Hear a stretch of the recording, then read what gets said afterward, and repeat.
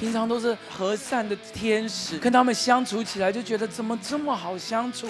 哎，好奇怪！一做幸福小组都觉得他们是恶魔、恶者派来的魔鬼。保罗告诉我们。我们征战绝对不是跟那些血气之辈在征战，我们征战是看不见的管辖幽暗世界恶魔在征战。仇敌想尽办法提醒我们，我们有多糟糕，有多不好。我们信的这位神是常常率领我们夸胜的神。今天我想，我们就进入到这个跨越的当中，我们需要明白的第二件事情，就是神会亲自的为我们征战。神会亲自的为我们征战。我们刚刚读到的第十节，这边有一段说：“看到神的约柜必在你们前头过去，到约旦河那里，因此你们就知道你们中间有永生神，并且你看他必在你们面前赶出这些这些所有的人。神会在我们生命当中的大大小小征战当中为我们征战，率领我们得胜。”基督徒之所以会失败，在征战当中会失败，不外乎就是这两个原因。第一个就是我们常常用我们过去失败的经验来定义现在的我。我过去错过，我这一次一定会错。我过去失败过，啊，老师告诉我，我永远都会失败。我曾经在这个事情上面跌倒过，所以呢，我每一次遇到这个事情，我就不想努力了，因为我就是这么软弱，我就是这么糟糕。仇敌想尽办法提醒我们，我们有多糟糕，有多不好，有多烂，有多软弱，就是为了让我们好像相信他的剧本，觉得我们没有一个得胜的人生。但听好，亲爱的弟兄姐妹。我们信的这位神是常常率领我们夸胜的神，因此我们不是只是在一个好像一个过去失败的经验循环里面。你知道人生本来就会常常失败嘛？你想想看，一个班上只有一个第一名，那其他不是都是失败了吗？是不是？我们就常常觉得哦，我不是第一名，我考得不好，好，我很糟糕。好，你心里想说，我我从来没跟第一名比过，对不对？我们都是比后面的，不要最后就好。我们常常都是在这种失败当中，然后每次联考也只有几间是名校，也有几个是啊第一志愿。我们我们从小到大，人家都告诉我们，我们是失败的，我们比不过别人，我们很糟糕。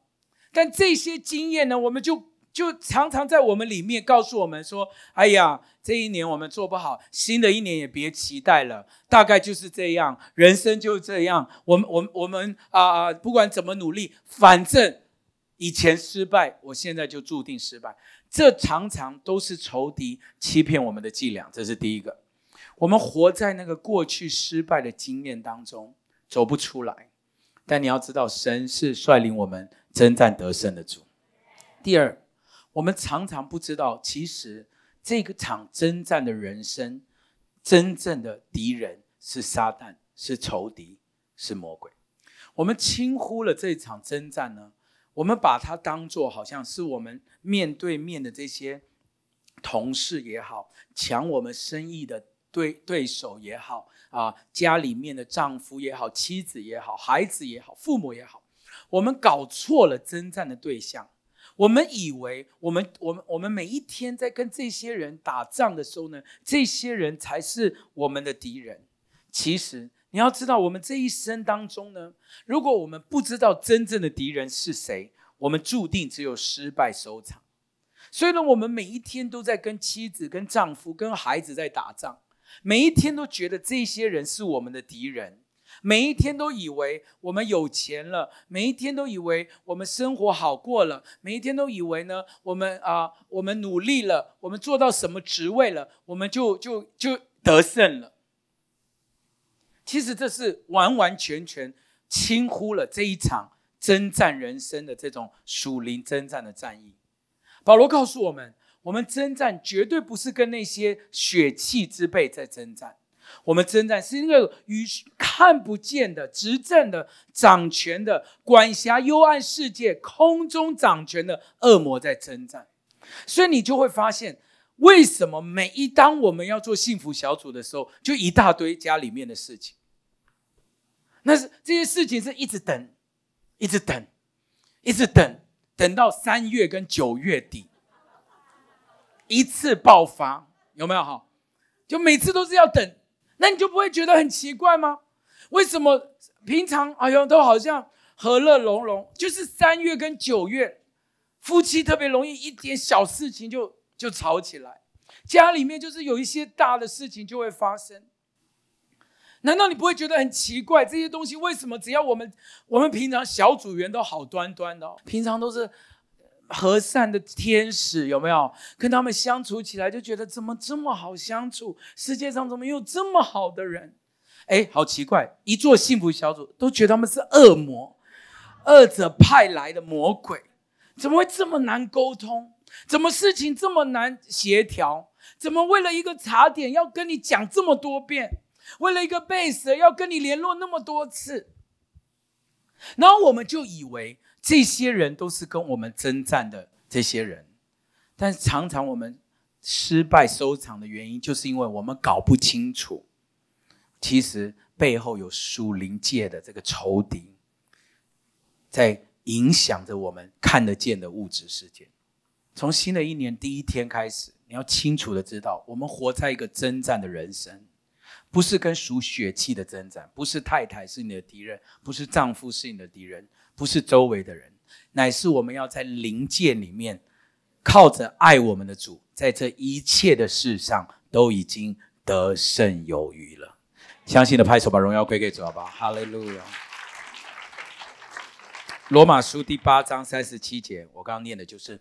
靠着爱我们的主，在这一切的事上，我们会得胜有余。与看不见的这个属灵征战，最重要的得胜关键，就是上帝的话，还有永不止息的祷告。靠着上帝的话，随时多方的祷告，并且呢，我们在每一个时候，我们都知道这个是属灵征战，我们就要认出、辨别出来，我们怎么样靠着神的话去攻破仇敌的谎言，怎么样靠着。取劳不停止的祷告，让上帝为我们亲自的征战。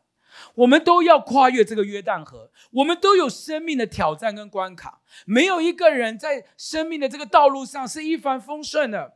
我们在跨越约旦河之后，还是会遇到刚刚这个经文里面讲的比利洗人、赫人、西魏人、格加萨人、亚亚摩利人、耶布斯人，这一路上都是敌人。但是这些敌人不是我们真正的敌人，乃是在灵界里面，上帝会为我们征战得胜。靠着上帝的话语，靠着不停止的祷告，我们会成为一个二零二零得胜的一年。再一次拍手，把荣耀归给主耶稣，好不好？父亲上弟兄姐妹，请我们要打开我们属灵的眼光，不要只是看到物质界的部分，那还是一个。粗浅属灵婴孩所看的东西，我们已经长大成人，我们应该要认出来。我们在小组也好，做幸福小组也好，我们在家庭也好，在公司工作也好，在学校跟同学相处也好，你知道，每一次都是仇敌想要得着我们的这些征战的时候，我们不断的在这个征战的人生当中，怎么样让上帝为我们征战可以得胜呢？靠着他的话，靠着不停止的祷告，过一个。刚强又得胜的一年，Amen。因此，上帝会亲自的为我们征战，上帝会在我们前头行。